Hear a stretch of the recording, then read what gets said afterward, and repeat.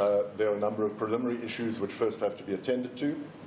Firstly, um, is that the state has to provide the accused with copies of the, of, the, of the docket, what is commonly referred to as the further particulars. That um, I have, we have agreed with my learned friends will be done very, very shortly. Um, electronic copies of the docket will be provided, as is usual in these sorts of cases.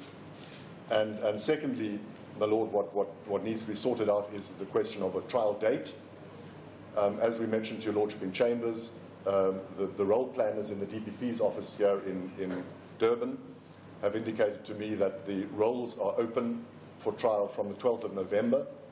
Uh, the DPP has mentioned this to the Judge President. Your, your Lordship is aware of it.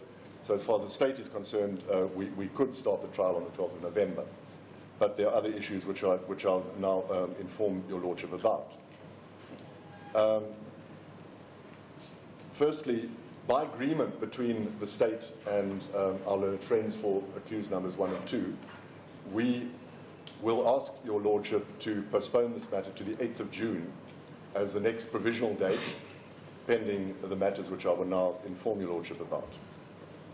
So there, there, there is no, there's no fight about uh, the, the nature of the adjournment and the date of the adjournment. The, the purpose of the adjournment um, is twofold in principle. Firstly, in respect of accused number one, Mr. Zuma, we've been informed uh, by, by our learned friends for Mr. Zuma that he wishes to bring a review application uh, concerning the decision to prosecute him again. And in that respect, we've been informed, and after discussions between us, that they hope to finalize the review papers by the middle of May, by the 15th of May but uh, we will sort that out between the parties um, as, as the time goes on. There's also been mentioned that uh, there might, depending on the nature of the, of, depending on the result, there might be further applications uh, for permanent stay, etc. Those issues are not being addressed now. That is as regards accused number one, Mr. Zuma. As far as the application of accused number two, uh, is concerned, might I just mention that accused number two, rather unusually, is, a, is only a corporation.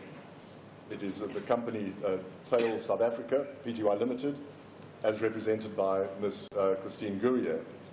And my lord, I should also just mention that by agreement between the parties, uh, she is she has been appointed as the company's representative, accused number two's representative. She is French.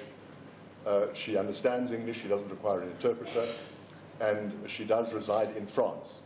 So we've all agreed that uh, she will attend the various court appearances as necessary, but the state obviously has no problem with her traveling to and from um, our country and back to her place of residence in France. So I, I place that on record. Now, as far as, as accused number two, Thales South Africa, is concerned, uh, they have informed me that they wish to make representations to the DPP so by, again, by mutual arrangement between the parties, we have agreed that they will make these representations as expeditiously as possible, and the parties aim to have an answer relating to the representations by the next adjournment on the 8th of June. Um, my learned friends and I have discussed a timetable as to when uh, the various stages of representations will be, will be directed to us, and uh, hopefully and certainly uh, also by, by the end of May, if not earlier, we will have hoped to have received the representations in their final form so that we can inform the court on the 8th of June, hopefully again, what the answer is. Um, my Lord, I think that is everything I wish to say relating to the reasons for the adjournment and uh, what, the, what the party's attitude is. Uh, the final matter I should just mention is that there is, to our knowledge, a Western Cape High Court application which which uh, in some way uh, is, is, is, aimed to affect the current proceedings. There's an application in the Western Cape High Court by a body styling itself, and I quote, uh, these, these words don't come from me, my lord. Uh, the, the body is called the SA Natives Forum, and the respondents in that matter are various uh, parties, including uh, the, the NPA and the NDPP, and that seeks to interfere with the further conduct of this trial before your lordship now in this the, the attitude of the parties in this court, and that includes, I think, my learned friends also, is that that matter has no bearing on the proceedings currently uh, be, before your lordship. The, the NPA and the NDPP are opposing that matter.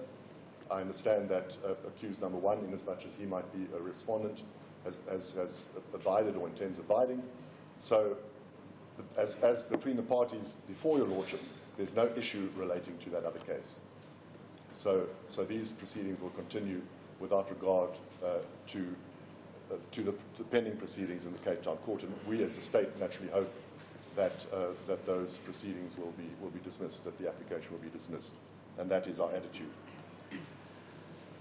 So,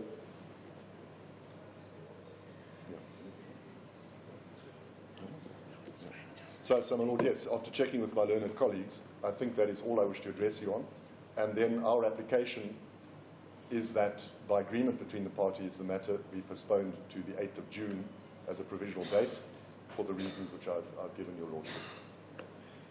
Unless the court wishes to hear me on any other aspect, that would be the state's application.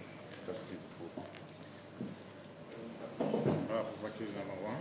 Thank you, my Lord. My Lord, we confirm our agreement to the adjournment to the 8th of June 2018 as a provisional date.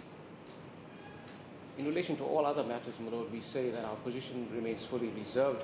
There will be an application to challenge the legitimacy of the prosecution. That we've spoken about with my learned friend Mr. Downer about dates and how that will be dealt with. Of course, on the 8th of June, everyone will be in a better position to work out where the matter proceeds from there.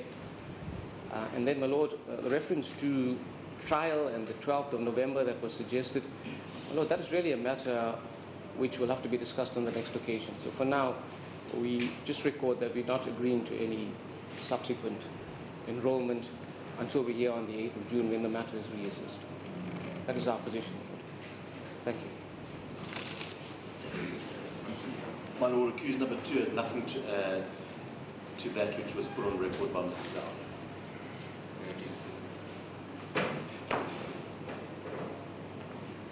My Lord, might I just say finally and just remind the court that both accused, having been summoned to this court, are, are on warning in the colloquial terms, and I would ask that the court uh, then uh, warn the accused to appear on the 8th of June. Bail conditions and, and further conditions relating to their release do not apply in cases such as this where the accused are summoned to court, as indeed they were in 2007. May please the court.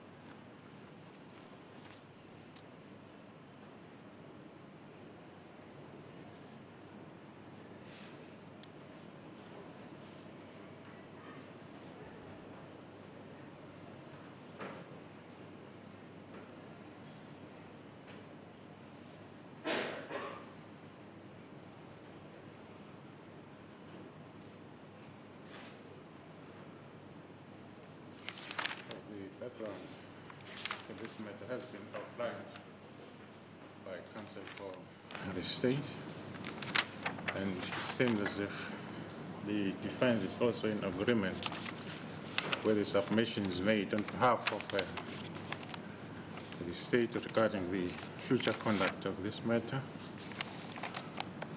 For the reasons advanced by counsel for the state in agreement with the defense, this matter is adjourned to the 8th of June 2018, which is a provisional date.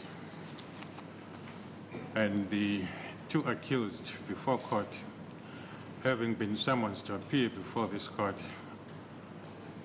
are released on bail. Sorry, are released on warning rather. Thank you. Go ahead.